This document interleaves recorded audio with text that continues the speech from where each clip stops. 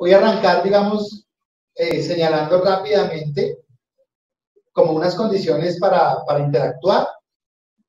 Eh, yo voy a estar, digamos, liderando la conversación entre, con las profesoras sobre el tema que nos convoca el día de hoy, que es el lugar del adulto en la interacción con los niños en diferentes escenarios profesionales. Y esperamos, nos gusta muchísimo, nos gusta un montón hablar de este tema, pero vamos a tratar de hacerlo lo más rápido posible para darle lugar a las preguntas que ustedes puedan tener. Pueden irlas escribiendo desde ahora eh, o si esperamos, la, esperamos al final para, para poderlas contestar todas y para armar, digamos, una conversación también con las invitadas, que yo creo que es mucho más. Les decía que este evento eh, está relacionado con la maestría en atención integral a la primera infancia que hemos diseñado con los profesores del Departamento de Psicología de la Universidad ICES. El programa va a estar, va a abrir en el segundo semestre de este 2020, es decir, vamos a arrancar en el mes de julio. Tiene la, la modalidad que es 100% virtual y eso pues facilita obviamente que la gente se conecte desde diferentes pues partes de, de Colombia y esperamos que de Latinoamérica. Eh, así que hemos querido empezar con, este webinar, estrenándonos también nosotros en la modalidad virtual y pues haciendo la invitación para las personas que estén interesadas, pues obviamente eh, se contacten conmigo, que soy el director, para que puedan navegar la página web que en un rato eh, la vamos a compartir en, la pantalla. Para no hablar tanto yo y darle el protagonismo que se merecen las profesoras, entonces voy a arrancar eh, con el conversatorio. Lo primero, pues por supuesto, es presentar a nuestras dos invitadas. Eh, rojo en este caso, si la pueden ver un poquito más lejos de mí, la profesora Jacqueline Cantor es profesora eh, de tiempo completo de la Universidad de ICESI y tiene una amplia experiencia en instituciones educativas, desde, digamos, instituciones escolares y también en primera infancia. Y más cerca de mí, la profesora María del Carmen Purificat, que nos acompaña en varios cursos que se ofrecen en las licenciaturas de la universidad y en el programa de psicología, y que tiene también una amplia experiencia en que hoy todavía trabaja directamente haciendo asesoría y acompañamiento en un jardín infantil en la ciudad de Cali, con mucha experiencia también en el trabajo de vincular la literatura infantil, incluso desde el nivel maternal, para el trabajo con los niños y las niñas en, en este jardín.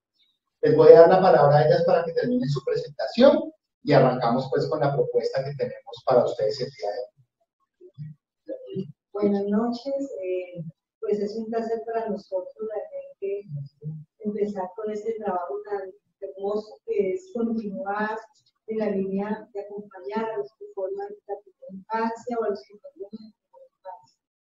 Eh, un trabajo muy extenso de acompañar y asesorar a pymes, maestras y de trabajar en los colegios y de ver los resultados de lo que significa una infancia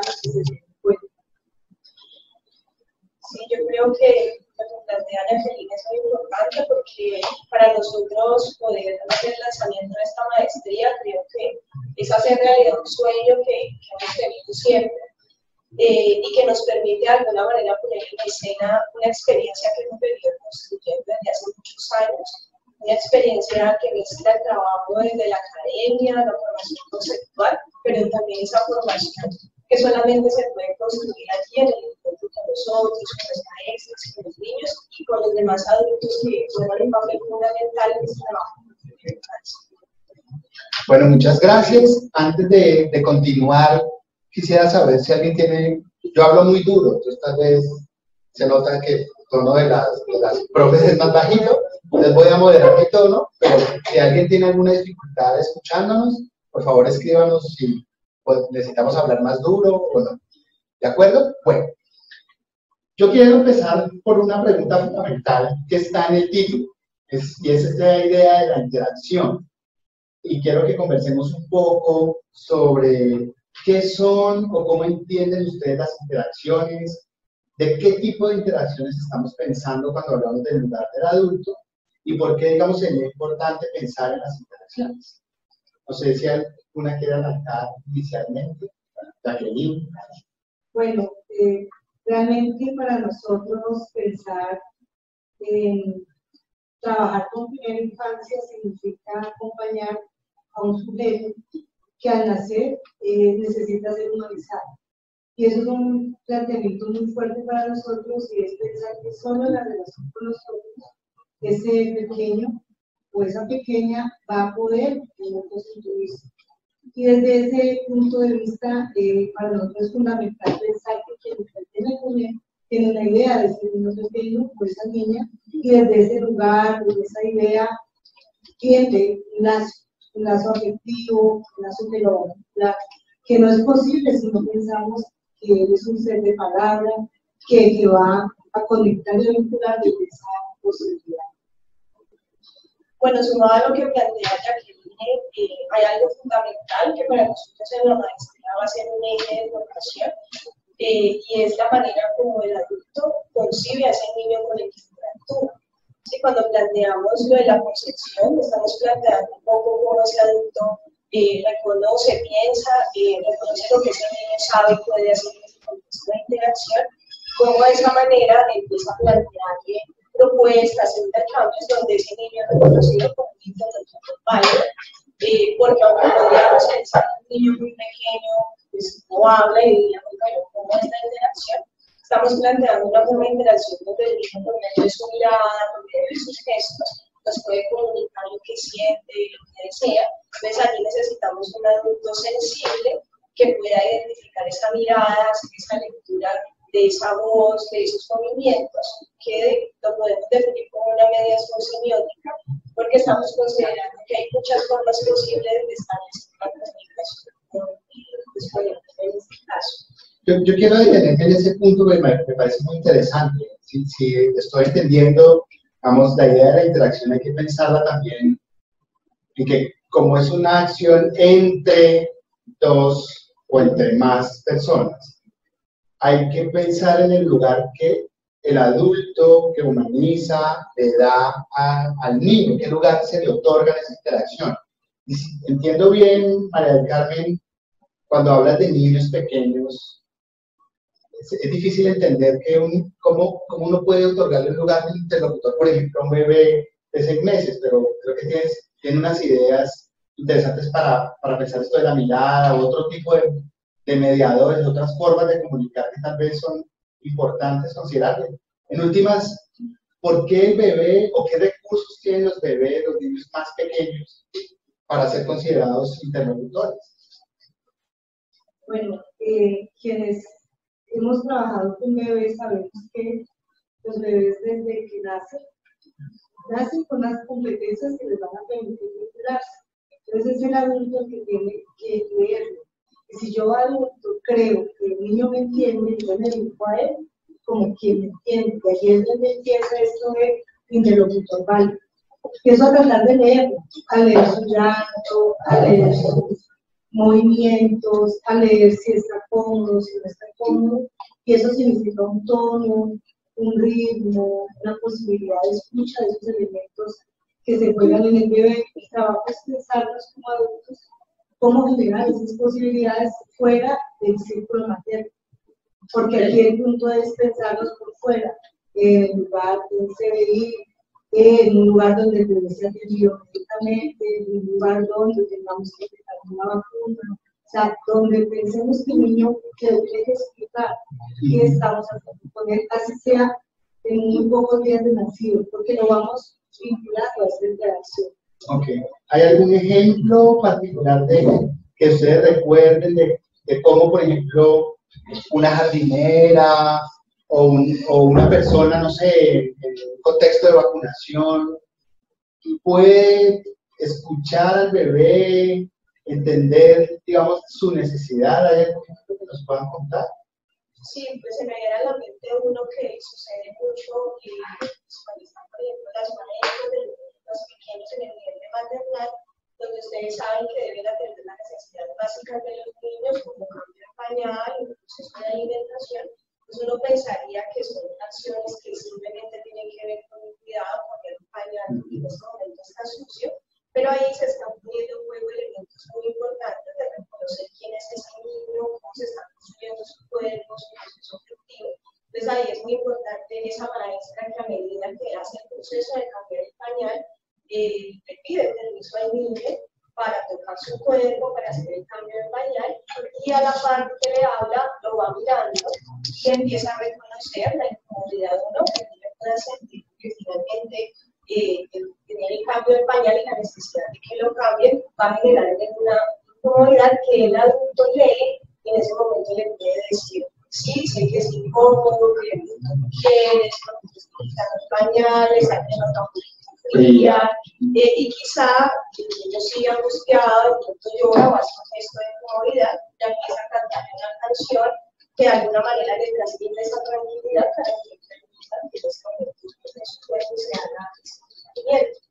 es un poco lo que plantea Carlos cuando dicen que no puede ser un intercambio mecanizado donde todos los niños lo hagan de la misma manera, sino que cada maestra tiene esa forma particular de hacerlo, de nombrarlo y de decirle a cada niño de una manera distinta, según lo que necesita Es una idea muy interesante en la medida que le da lugar como a la singularidad, a las particularidades de cada bebé. Estoy pensando, digamos, con eso que me están diciendo, y me corrigen, por favor, si yo estoy en una sala maternal con 10 bebés, sumamos que todos tienen 4 meses, el cambio del pañal no es una acción mecánica, ¿eh? de quitar y poner, sino que lo que se está jugando allí es una interacción con ese niño y un vínculo, ¿ok? Y que, y que por ejemplo, habrá niños que perfectamente toleran que sea incómodo, pero habrá otros que la sensación de la crema puede ser fría, que en lugar de la persona que está allí, es, aunque el niño no, no hable, hay, por ejemplo, gestos, ¿sí? O llantos o expresiones del cuerpo que, que seguramente comunican algo a quien le está haciendo ese, ese, en ese momento el cambio pañal.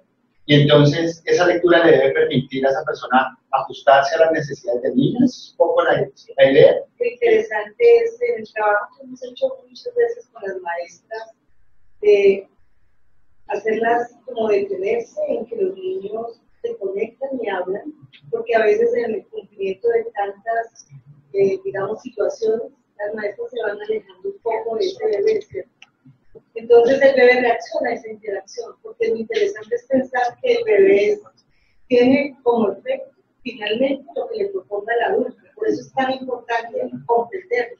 Entonces, si yo lo miro, si yo me dedico a él, si yo le explico que vamos a cambiar el pañal, él me empieza a mirar. Pero si yo no lo miro, él ya no me mira. Y ahí pierdo esa posibilidad de hablar con su subjetividad. Y yo le puedo cantar y le puedo explicar y él puede entrar en esa relación y el que está al lado es llorar. Porque yo lo nombro, ¿cómo estás? Ven, estamos cambiando a Andresito o a Marta y el otro sabe que llega su momento y tiene un nombre, una relación, de una particularidad. O rescatar eso es un poco lo que María del Carmen decía ahora, concebir al niño como un ser de lenguaje, un ser capaz de entendernos. No estamos como formados para pensarlo así. Lo asistimos muy bien, pero no nos relacionamos con él. Y eso es un poco el plus que queremos trabajar. Un médico, por ejemplo, puede ver al bebé, dar la consulta de pediatría, la madre le lleva al bebé y él puede tomar el cuerpo del bebé, pero si se detiene y pide autorización. Si la madre le dice al bebé que es el médico, el bebé va a estar más tranquilo. El tono muscular del bebé es. La madre va a estar cálida. Y el médico va a poder ser un mediador entre eso que le tiene que ofertar al niño y, y la relación con la madre, también mediana. O sea, no solamente son los educadores, son quienes tienen que ver con el niño tenemos experiencias en el momento de la nutrición. La maestra está nutriendo al niño, está dándole de alimento, y llega y pasa la señora, que es el alimento. Y se detiene al bebé y le saluda y le dice que es una comida rica. ¡Qué emoción! Y el bebé recibe, le abre su boquita y. Y la nutrición va más allá del cuerpo del alimento de sí mismo. Tiene que ver con esa vinculación. Ok. Eh, eh, eso que estás diciendo me abre la posibilidad de hacer una pregunta adicional, porque, digamos, en los ejemplos que hemos estado, que hemos estado discutiendo, trayendo, pues general, y cuando uno habla de atención integrada en la infancia, pues lo primero que se le viene a la cabeza son jardines infantiles y CDIs. ¿Por qué? Pues porque la política sí lo menciona, porque se le está dando mucho énfasis, digamos, actualmente a este tipo de instituciones. Pero cuando hablamos del médico, eh, la enfermera, estoy pensando en un servicio, por ejemplo, de vacunación o un servicio de hospitalización. Mi pregunta, antes de llegar a esos otros escenarios, es ¿de cuáles adultos estamos hablando cuando hablamos de interacción con niños en diferentes escenarios profesionales? Porque siempre se nos viene a la cabeza, por ejemplo, una maestra jardinera, una jardinera, alguien que está directamente con los niños, pero ¿cuál papel o qué papel pueden jugar otros adultos en esa interacción y en un proceso, digamos, de humanización, de subjetivación de, de los pequeños? No sé, tal vez personal administrativo de un CDI o las personas de la cocina. ¿no? En esa dirección, ¿cómo, cómo pensamos ese adulto? Sí, hay, hay un ejemplo que, recuerdo que pues, hay unas, unas estudiantes eh, y es la manera, por ejemplo, se concibe eh, pues el dolor en los niños y cómo se construye, por ejemplo, esa noción de dolor en el cuerpo. Cuando se plantea que el dolor primero es el dolor del otro porque ha sido reconocido por otro, que si el niño le dice me hizo una yayay, entonces la enfermera no simplemente le pone la cura, sino que le dice, sí, yo sé que te está doliendo y te voy a poner esta cremita, pero además de echarle la cremita le empieza a decir el sana que sana, que hizo de rana, que parece como una fórmula mágica, inmediatamente el niño le dice, sí, mira, me dolió, y empieza a contar la historia y el dolor. Entonces, esa enfermera que lo está acompañando en el proceso, por ejemplo, de vacunación convencionadas ahora, eh, que puede ser algo que para un niño es confronta, incluso como adultos a veces todavía no nos gusta la aguja y la vacuna, eh, de qué manera humanizar ese contexto hospitalario también y que sea un espacio agradable en varios sentidos. Me refiero al espacio físico como tal, que puede invitar a que el niño se sienta tranquilo porque hay información sobre esa vacunación, porque hay un cuento que habla sobre ese momento de vacunación, pero también hay otro que suena cálido, que es firme porque sabe que le tiene que poner la vacuna y tampoco le pregunta te la quieres poner o no, que ahí entra un elemento fundamental de la característica de ese adulto, que es un adulto firme, que sabe que necesita el niño, pero que esa firmeza no va en contra de que sea cálido, de que lo escuche, de, de lugar a ese dolor, y en esa medida el niño siente que el que puede confiar y que le brinda amor, lo cuida, lo protege, pero también le permite que tenga una voz sobre ese dolor, esa emoción que está sintiendo. ¿A qué me refiero con esto? Muchas veces tendemos a decirle a los niños, eh, no llores, que no pasó nada y no te está doliendo. Diferente a decir, yo sé que te está doliendo, pero yo estoy aquí para abrazarte, para cogerte. Entonces, ese dolor se empieza a nombrar, se humaniza y le permite que uno también sepa que el dolor existe en la vida, pero que también hay un adulto que está allí para acompañarme cuando vaya a ese dolor. O, o, explicar que el dolor también tiene, digamos, está pensado no para hacerlo sufrir, sino para protegerlo, por ejemplo. También. Tú necesitas esta vacuna para no enfermarte y entiendo que te está doliendo, pero te va a proteger, te va a evitar una enfermedad más compleja. Ahora, pensemos un poco el escenario también de atención en el, en el jardín, en el CDI, pero vamos arriba a la administración. O sea, una maestra que siente que esta persona que la dirige, la posibilidad de hablar de lo que le significa un bebé, de, lo, de conectarse, de tener el tiempo, de tener un poco esas rutinas que a veces son tan complejas para escuchar, significa que tiene, hay un aliado en ese vínculo. Entonces, digamos que los administrativos se tienen que enterar de qué significa realmente una atención integral. Okay. Cómo organizar un tiempo que no es el tiempo cronológico, que puede ser, como lo decía Walter Cohen hace muy poco, el tiempo de la niñez es un tiempo que es el destiempo, la espera. Claro, yo puedo cambiar mi pañal en 5 minutos, a 10 niños, a 2 niños, a un niño, sea, esa no es la medida. La medida es un poco qué necesita cada uno, porque ese cuerpo es del niño, que tiene que construirlo. Desde mi maestro estoy invirtiendo en, el, en la construcción cultural. Si no invertimos ese tiempo, si el administrador no lo entiende, no da tiempo para los procesos, pues atropellamos los niños y tenemos una serie de registros que están sin sujeto. Entonces, desde ese lugar, toda esta discusión va hacia arriba, a las directivas, a todas las personas que se comunican con los bebés, que los ven, que los sienten. Eso es muy importante. Sí, para retomar, pero creo que, que no nos escuchan lo suficiente. Tal vez nos vamos a hacer una nos sí, acá. Sí, intentemos.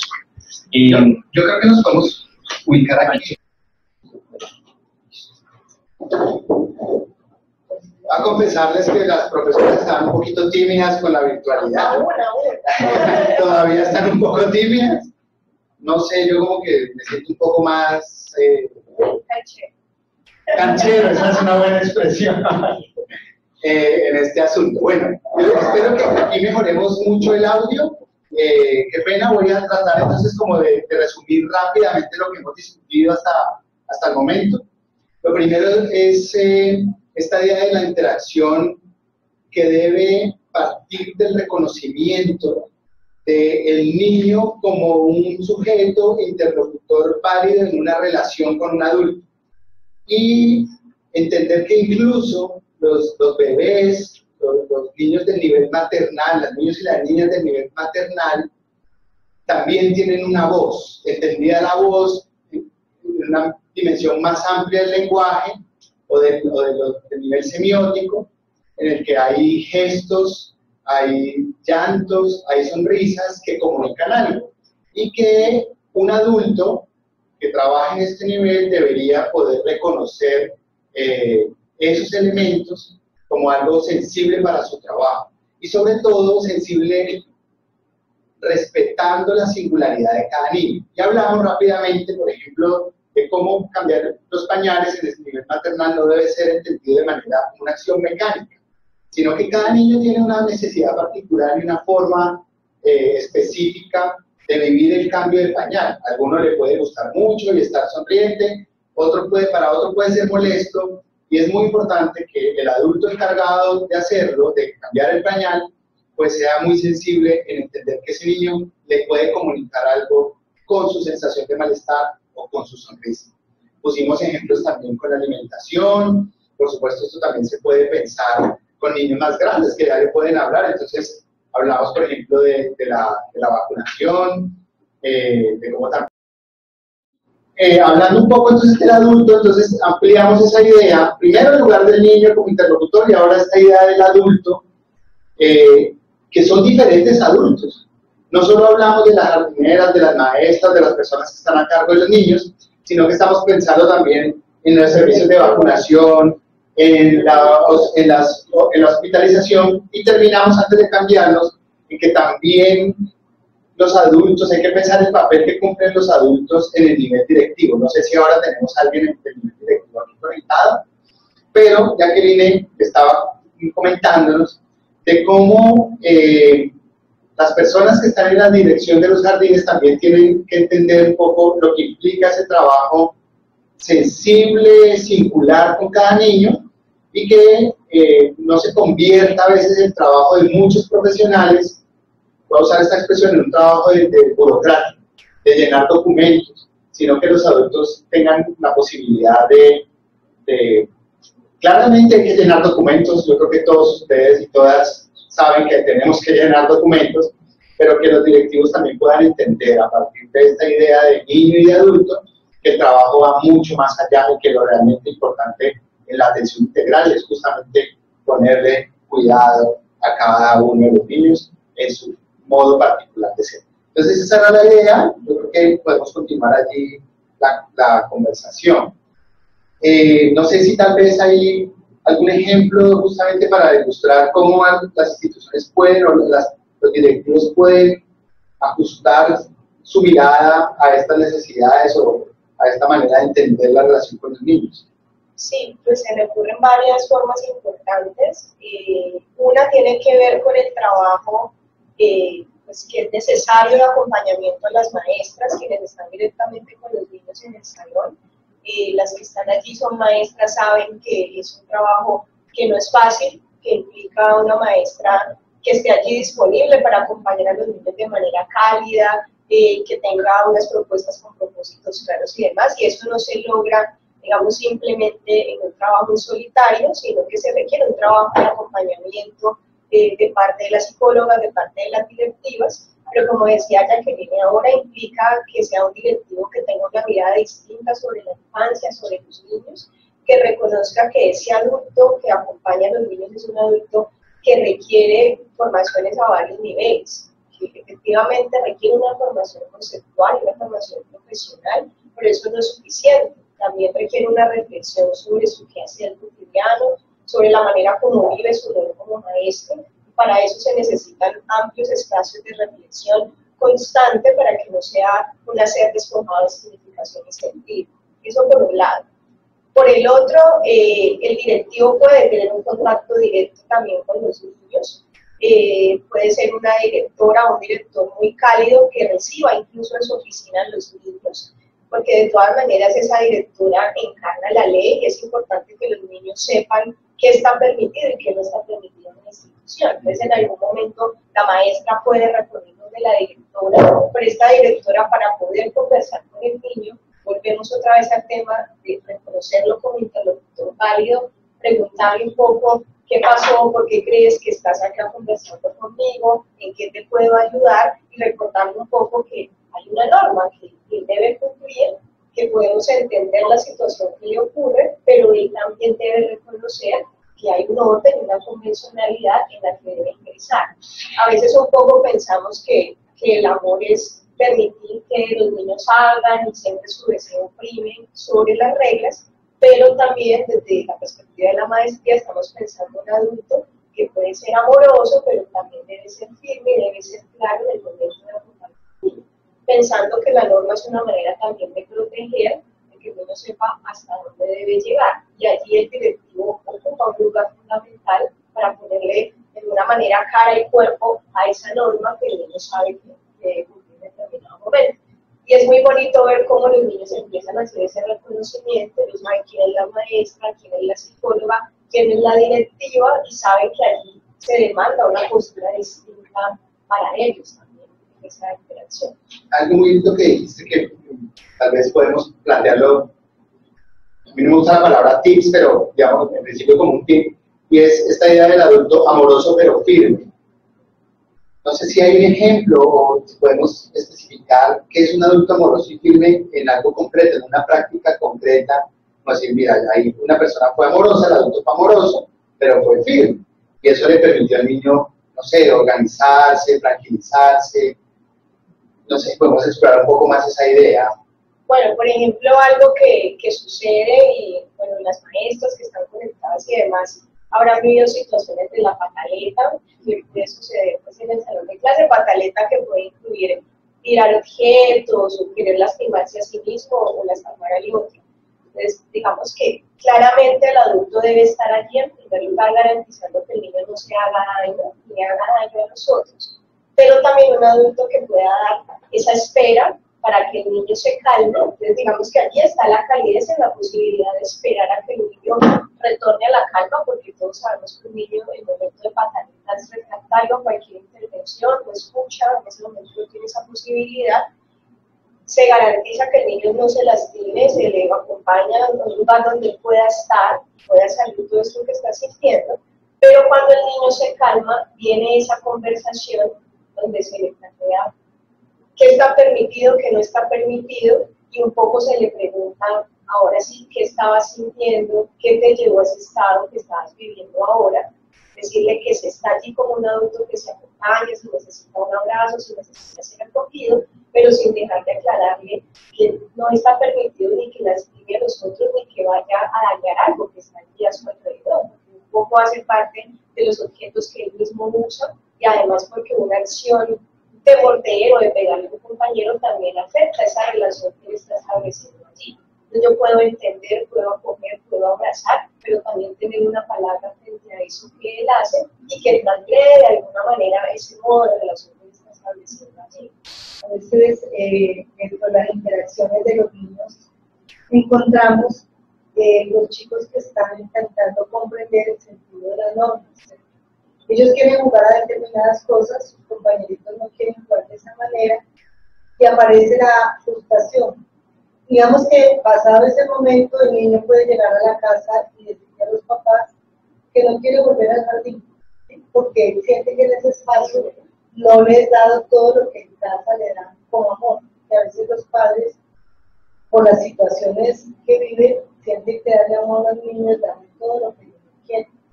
Y digamos que desde ese lugar el niño no entiende por qué en el jardín le dicen no, no puedes eh, subirte al carrito de tu compañero si no pides el permiso. Si quiere el carrito, no quiere subirse y empieza un poco ese proceso. digamos que allí hay algo que yo quiero también introducir y es el trabajo de toda la parte psicosocial. Entonces la maestra logra salir como, como tú dices, firme, amorosa, pero hay que trabajar casa. Hay que citar a estos padres, hay que ayudarlos a entender qué pasa con esa postura, pero allí es muy interesante pensar la época y lo que significa para la madre o el padre ese trabajo de pronto excesivo, ese agotamiento en la casa, como ser cálidos en casa, poder apoyar al, niño, pero no ceder. Entonces, en ese trabajo, trabajo de la maestra, el trabajo de la directora, el trabajo de, todo el personal que interviene en el psicosocial, trasciende, digamos, eh, la intervención escolar y va a la casa. O una citación, o un taller de padres, o una construcción colectiva, genera una intervención que va a ser educativa para el niño de la forma. Para entender por qué ese no es un sí. El lo protege, el lo ayuda. Y allí pienso mucho en que hay que comprender la historizar, entender el sentido de ciertas posturas de los padres que a veces nos afectan tanto en los familias y que terminamos es como peleando con el padre o peleando por formas que parecieran que van en contra de lo que uno postula. Que hay espacios de escucha, conclusión de la época, historización, permiten a un maestro entender y generar otra vida y no enfrentarse. Es que cuando uno se enfrenta, el niño pierde. Finalmente el niño tiene dos referentes excesivos. El colegio de una manera, la escuela de una manera, de otra manera y la casa de otra. Y él tendría que tener una, una regularidad. Entonces, así, por ejemplo, la discusión sería, ¿qué pasa con esos padres? ¿Qué es lo que sucede? ¿Por qué funcionan así? Y ahí aparecen muchos elementos que uno a veces desconoce y que significarlo no significa aceptar. Para el diálogo y que es muy favorable y trabajos con estos padres, con estas familias no necesariamente pasan por la conferencia, por espacios lúdicos, por trabajo con cuentos, por escenas o escenografías en el jardín que le permitan a los padres entrar en una relación con la norma. Muy bien. Yo creo que hemos hablado bastante y hemos lanzado algunas ideas, veo algunas reacciones en los participantes que tenemos. He visto que subimos como a 32, ahora hay, hay unos 29, pero hay personas ya, ya participando. Quiero retomar, vamos a tratar de darle lugar a, las, a los comentarios me parece pues más interesante como vincular a las personas que nos están escuchando y viendo. Puedes hacerme un favor, computador puedes bajar un momentito para ver eso. Ya, ahí no es. Lolaya, que creo no he tenido la oportunidad de saludar, buenas noches. Hay algo que creo que tiene que ver eh, con lo que estaba diciendo María del Carmen y que me, me, llama mucho la atención y creo que es importante, ¿no? En, relación con ese manejo de la pataleta y que tal vez no hemos abordado, que tiene que ver con el bienestar emocional de la docente o el docente para manejar estas pataletas. En el sentido en que lo que ella, lo que si entiendo lo que está planteando es que también hay que trabajar un poco sobre esa propia particularidad y singularidad de la maestra, de su propia bienestar emocional, como ella la, lo, nombra, o con la madurez que requiere experiencia de apoyo. Desde esa perspectiva, entonces, ese lugar del adulto, ¿cuál es? Sí, es decir, ¿cuál es, ¿cómo debe cómo se debe formar en el adulto también esa, esa cualidad emocional, así, ese bienestar emocional. De alguna manera, digamos que en este momento es muy fuerte el planteamiento de cuidar al cuidador. Si lo pensamos en primera infancia, la maestra o el maestro, porque también hay maestros en primera infancia, tienen que poner su cuerpo con los niños, porque no se pone lo cognitivo en juego, muy pequeño, sin poner el cuerpo. La lúdica, la posibilidad de la relación, el contenerlo, el gestar opciones, hace que el maestro y la maestra se agoten. Por eso hablábamos ahora de esa posibilidad de instancia administrativa de escuchar este dolor, este malestar o este cansancio y los espacios para hablar de eso para ayudarlos y ayudarlas a entender lo que pasa, para apoyarlos, incluso para relevarlos. Porque hay momentos que se requieren un relevo. Ahí viene toda esta estructura, no se tiene, la maestra no tiene el niño solo, no debe tener estructura social que propone. O sea, el jardín de infancia, o el CDI, o el maternal, o el escolar, es una institución social donde estamos todos para ofertarle al niño una propuesta para ser humano y allí es donde los espacios de discusión, las asesorías tienen que aparecer en los tiempos. Okay, claro. Y eso viene de una directiva que puede pensarse que el maestro o la maestra requiere esos espacios. Claro, ¿sí? El apoyo de... ser apoyados, escuchados y acompañados. Y lo emocional está en juego. Eso lo voy a conectar con lo que está diciendo Nancy, bueno, es importante cuando dice que es posible ampliar el proceso de formación a los otros profesionales que intervienen en la atención integral de la primera infancia, además de las maestras y los entornos institucionales educativos, y ahí se me estaba un poquito tapado, ahí, y los entornos institucionales educativos. Sí, yo aquí puedo meter yo un poco la, mi voz. Yo creo que un poco la, la propuesta de la maestría está justamente en no limitar la idea de la atención integral de la primera infancia solamente a las maestras, sino a otros profesionales. También leí eh, alguna persona más arriba, habló de las nutricionistas, de los psicosociales, eh, un poquito más arriba, que. Ahí está, ¿sí? Nancy también lo, propuso, eh, que entran en juego el papel de nutricionistas o psicosociales. En realidad lo que creo que estamos discutiendo cuando pensamos en el lugar del adulto son todos los adultos, ¿sí? varios escenarios. El escenario hospitalario, que ya lo mencionamos, el escenario de vacunación, el escenario de la enfermería en los CDIs, el, escenario propiamente en un, aula donde están los niños, en la maestra, en la persona que atiende la alimentación, en quien hace la, la minuta.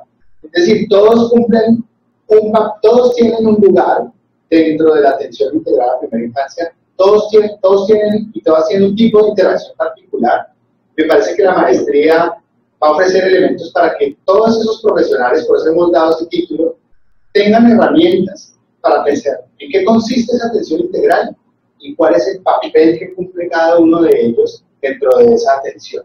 Por supuesto, pues uno siempre hace mucho énfasis en quienes trabajan directamente con los niños y niñas, pero esta mirada más amplia nos permite, nos va a permitir que las personas piensen dentro de la maestría, cuál es su lugar, cuál es su papel allí y qué es lo que se juega cuando se está trabajando con, con, esta población. Hay algo, Fernando, que quisiera agregar con lo que estás diciendo y pienso que es también una posibilidad que hace la maestría y es que todos sabemos muy bien que, que en la política pública, cuando uno lee los documentos, pues tendemos a decir que se escucha muy bonito, que ese es el ideal, y hay algo que me parece muy importante y es que a veces eh, se quiere aplicar de manera directa la política de la misma manera cualquier contexto sin hacer un análisis de las particularidades. Yo pienso que el trabajo del directivo también es hacer una lectura crítica de la política que le permita aterrizar lo que plantea la política a su escenario real, pero eso también implica que ese administrativo no solo puede estar en la oficina leyendo los documentos, sino que debe interactuar con las maestras, interactuar con los niños, interactuar con la psicosocial, interactuar con la nutricionista, para realmente hacer una caracterización de su institución que le permita hacer una traducción pues, bastante aterrizada a lo que necesita realmente su comunidad. Porque sabemos que, por ejemplo, un CDI se puede ubicar en un barrio particular de la ciudad donde hay aspectos sociales, culturales, económicos, políticos que rigen y que los niños llevan como experiencia también pues, aquí a esa situación. Eso por un lado. Y lo otro que pensaba es que hay otros profesionales, por ejemplo, que trabajan en los centros de salud, a los que las familias acuden cuando los niños tienen procesos de salud, por ejemplo, las mujeres embarazadas, que sabemos que es un momento de vida muy importante y que en nuestro país desafortunadamente eh, se vive ese proceso de parto de embarazo como algo que lo viven todas las mujeres de manera igual, pero se desconoce que esa entrada al mundo del niño pues es fundamental y los profesionales que están allí deberían reconocer esa particularidad. Entonces allí ya incluimos médico, enfermera, trabajadora social, que hace parte de esos, de esas instituciones a los que uno también remite a veces a las familias y a los niños. Pero como yo como maestra remito a la familia del centro de salud o a la trabajadora social, si no tengo la garantía de que la trabajadora social tiene también esa mirada que reconoce ese proceso de organización de los niños que requieren ese acompañamiento. Pues es un punto que nos da para otra conversación en el sentido en que pero me parece importante resaltarlo, sobre todo voy a resaltar algo allí que tiene que ver con, mm, alguien lo comentaba acá, que ojalá la gente, que cuente a la gente de dónde se conectan y cuáles son los problemas que identifican la atención a los niños, porque creo que tiene que ver con, con que los contextos también son muy variados y que las dificultades o las problemáticas dependen mucho del contexto particular en donde están ubicados los escenarios de atención a los niños y las niñas. Porque allí nosotros, quienes quieran explorar, tenemos de hecho unos cursos pensados eh, para que tengan un, enfoque cultural, para que se pueda hacer una lectura de los contextos. Y que, por ejemplo, lo hemos discutido muchas veces, pues las minutas de alimentación también respondan a ciertas costumbres. Hace poco leía rápidamente eh, en la silla vacía una investigación que hace una profesora de la Universidad de los Andes sobre hipertensión arterial. Y eso está asociado al consumo de sal. Y entonces ella decía, mire, pero en el Chocó nos dimos cuenta que esto, la comida es muy salada, pero es un montón de prácticas ancestrales. Y es que para conservar la comida utilizaban sal cuando no tenían eh, ver. Entonces, solo para poner este ejemplo aquí, que sin duda nos daría pues para pensar en, todo el tema cultural detrás y cómo ajustar las, las, eh, las instituciones y las formas de atención a partir de eso. Tenemos muchas participaciones, eso me alegra muchísimo también. Eh, hay una sobre, voy a decir algo que tiene que ver, dice, ahora que los colegios quieren tener 30 estudiantes de preescolar por maestra, esa comunicación sin el apoyo de otros adultos es desgastante. Y se articula con que no se trata solo de, de intervenir en los directivos, sino esta entidad tan grande como es el ICBF que el niño no es un instrumento, sino un sujeto que necesita de un tiempo y unos ritmos. Pues, por supuesto, el ICBF es, digamos, el ente regulador de, la primera infancia en Colombia, y comparten algunas funciones con el ministerio, pero sin duda yo creo que aquí tenemos dos opciones. Nuestra apuesta de formación es que desde las prácticas logremos justamente transformar esa idea del niño no como instrumento, sino como un sujeto que está en un proceso de humanización que necesita el otro. Y yo creo que en esa medida desde abajo podemos ir ayudando a transformar también entidades pues, como el ICB. un poco para nosotros ha sido muy importante los trabajos que hemos hecho de acompañamiento a bienes, asesorías, que cuando el maestro o la maestra se empodera porque comprende su práctica y ve el efecto de tener una palabra con el bebé efecto de que una palabra con el padre también tiene voz y discute esas políticas, porque no las pasa de una y defiende las posturas, los tiempos. Eso es muy importante. Y eso es un poco lo que también le apostamos, que si sabemos que el niño es un ser de palabra, no puede tener palabras si un maestro no tiene palabra. ¿Cómo un maestro tiene palabra? Porque hay un directivo que escucha, y si no escucha empezamos un poco a pensar la gentilidad. ¿Qué pasa con ser agente? ¿Cómo formamos niños agentes capaces de llegar a sentirse en su cuerpo, a, no habitarlo solamente, si no tenemos, hay maestros o maestras con posibilidades de generar también una palabra. Entonces, desde ese lugar, digamos que nuestra búsqueda es devolverse a la práctica, analizar las prácticas, conceptualizar, tener elementos para entrar en la discusión, porque sabemos que aunque la política existe, hay lugares donde hay transformaciones en las prácticas porque las puedes sustentar. Y eso también parte de que se hayan formado y hayan analizado sus experimentos. Y un maestro tiene voz, tiene que tenerla. Cualquier profesional tiene que tener voz porque si no, ¿cómo le damos a Sin duda, ahí, ahí hay una participación de Diana.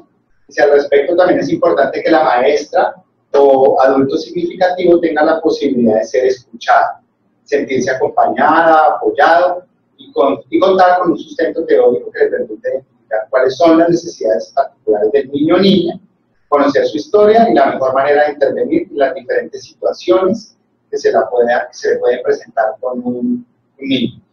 Si uno brinda esa posibilidad de ser escuchado a un maestro es porque justamente lo entiende como un sujeto que tiene una palabra y que esa palabra es importante. para que otros la escuchen en sus dificultades, digamos, personales y lo agobiante que puede ser a veces su trabajo, pero al mismo tiempo tiene una palabra que puede estar eh, pensada para intervenir con el niño. Eh, Aquí, aquí, Juan Esteban habla de las eh, relaciones. Hablar de relaciones implica comprender que en la infancia lo cotidiano es motor de aprendizaje. Me gusta mucho eso, porque en otras conversaciones que hemos tenido, pues a veces es, entender que todos los días nos estamos jugando algo en la relación con los niños que se atienden, ¿no? Eh, no sé si hay algo allí particular, tal, tal vez hablamos de niños más grandecitos que creo que hablamos un poco de, los bebés, pero esa idea de lo cotidiano es motor de aprendizaje, como algo, algún ejemplo allí que nos permita. Pues eso antes de, la palabra, si comprendemos que uno puede hacer de lo cotidiano un acto educativo, porque comprendemos que el niño explora, construye y es activo. No todo está del lado del maestro en el sentido de generar el gran escenario. A veces eh, más que generar el gran escenario, es escuchar al niño, ver a dónde dirige su mirada, qué quiere explorar y volverse cómplice. O sea, lúdicamente cómplice de lo que él va construyendo.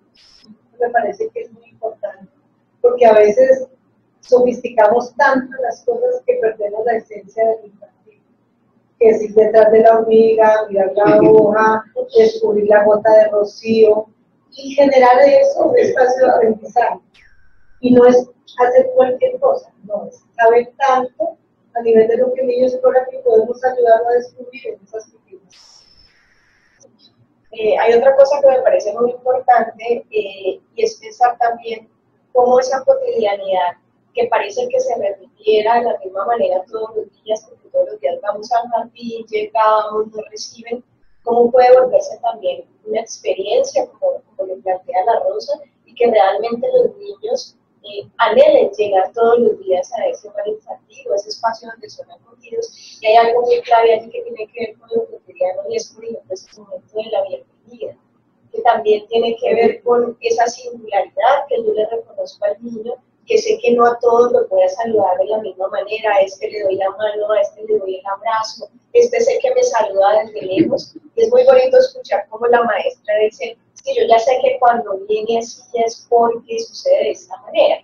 Eh, también con otro puedo recurrir a ese juego de manos, a ese juego de palmas que sé que lo tranquiliza y que lo va a hacer que llegue de una manera distinta al salón. Lo otro es la manera como se le da palabra a los niños en términos de construir esa cotidianidad. Por ejemplo, teniendo un plan del día donde los niños saben que sigue después, que sigue después, porque eso da la posibilidad de que el niño se anticipe y se prepare para lo que va a vivir, e incluso los niños empiezan a decirle a la profe, ya hicimos esto, ahora sigue esto. Y sucede, por ejemplo, el niño que está angustiado, llorando porque se quiere ir a su casa, la maestra lo ubica frente al plan del día y le dice, ¿qué hemos hecho hasta ahora? Hicimos esto, hicimos esto. Falta este momento y este para irme a la casa, porque ya saben esa organización del tiempo que ya está cerca ese momento del encuentro otra vez con sus padres. Y de la mano con esto es el momento también de esa despedida, donde no descuelga la maleta y váyase, sino vamos a recurrir un poco la experiencia de lo vivido hoy, qué hicimos hoy, qué canción cantamos, qué sentimos hoy, qué aprendimos, y estos elementos que nos lleva a la casa también para luego contarlos. Eh, cuando el niño le otorga significado a esta cotidianidad y se sitúa comúnmente en su experiencia, es muy bonito ver cómo los papás cuando nos aprendemos en, las citas y en el acompañamiento dicen, es que yo pienso que es mi bebé y le quiero seguir haciendo todo, pero él se me para al frente y me dice, yo solito porque yo puedo hacerlo. Entonces ahí vemos cómo ese lugar que se le ha otorgado se hace visible en esa voz y en esa postura que puede tener un adulto, así sea un chiquito de dos o tres años, que dice, miren, tengo voz y soy un niño grande. Y puedo hacer esto. Bueno, yo creo que esa es una excelente idea para, para ir cerrando. Llevamos ya unos 50 minutos conversando y este tiempo en lo virtual es un poco, eh, pues se agota uno mucho más rápido, me parece. Me, me gusta mucho esta, esta idea, digamos, de todo lo que ocurre en la vida cotidiana, porque nos permite, creo que, hacer énfasis en que en algo que estaba planteando alguien arriba y es que nosotros estamos pensando en que la maestría le sirva a todos los profesionales que están vinculados con la atención a la primera infancia en diferentes escenarios.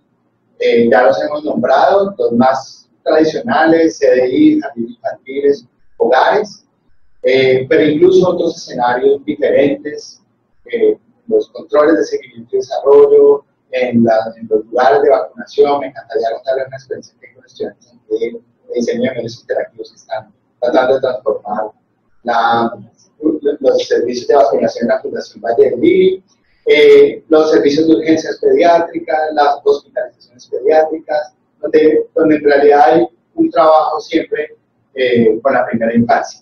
Eh, pero entonces, como estamos pensando en estos profesionales, la idea es que la maestría brinde, pues eso, que es un programa académico, entonces tiene una formación teórica y conceptual básica, que tiene, digamos, el propósito de, de resignificar la idea del niño, y también un poco por lo que hemos discutido, resignificar también el, papel o el lugar que ocupa el adulto cuando piensa en el niño de otra manera, o, en, el, o en los niños y las niñas. Y cuando piensa en el niño como sujeto de palabra, pues por supuesto eso viene atravesado por una concepción teórica particular, en la que estamos entendiendo que el niño cuando nace no se entiende, ¿sí? Que hay que explicarle, hay que hablarle, e incluso no solo cuando nace, sino cuando está más grande, cuando va atravesando diferentes momentos de desarrollo, pues ya le podemos ir hablando de otra manera.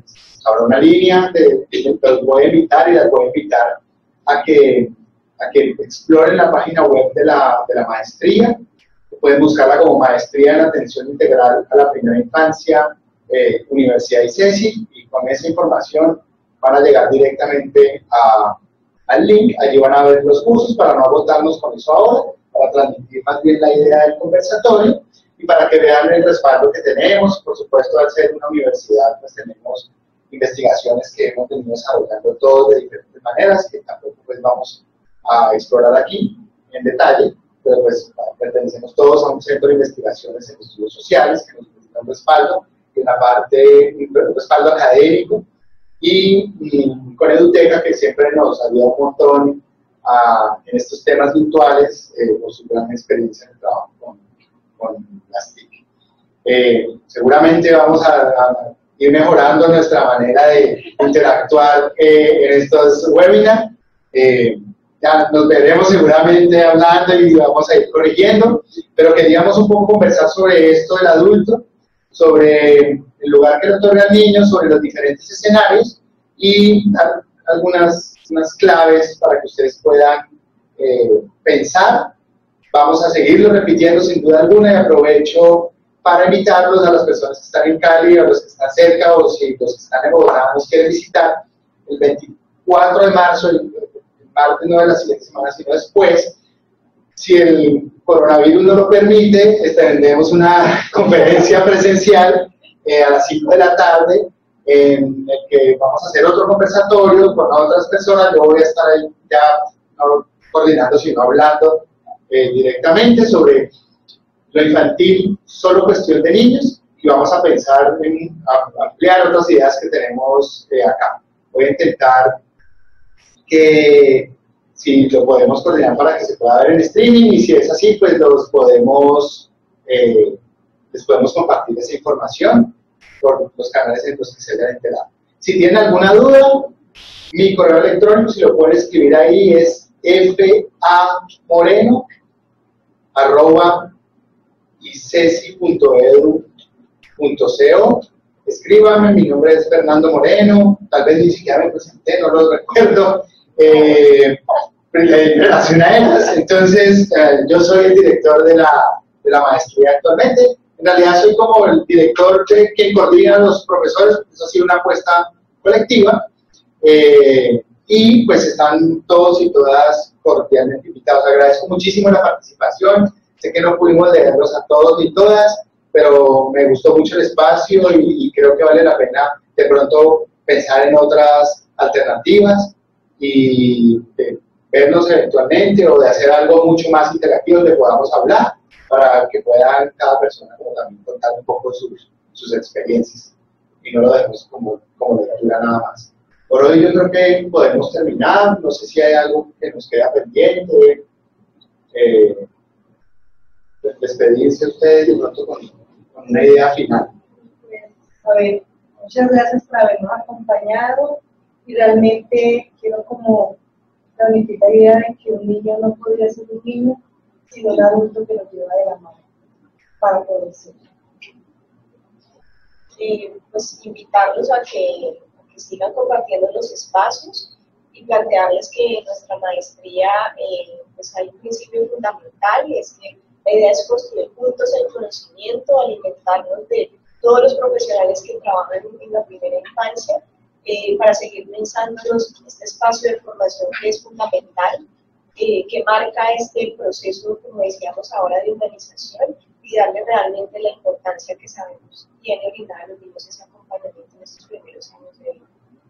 Por favor, inviten a sus colegas, amigos, personas interesadas en, en primera infancia a estos espacios, incluso las personas que ya tienen maestrías o no importa, nos interesa, digamos, abrir en Cali y en Colombia espacios de diálogo que creo que nos hacen falta.